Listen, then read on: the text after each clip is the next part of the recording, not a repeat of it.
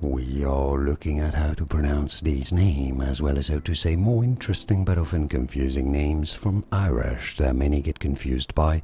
So make sure to stay tuned to the channel if you enjoy learning about those. How do you pronounce it then? Darragh.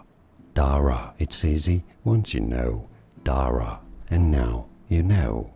Like and subscribe if you found this video useful, like it at least, it helps me immensely. Thanks for your support and more videos for you here to learn more correct pronunciations of more confusing names from Ireland. Thanks for watching.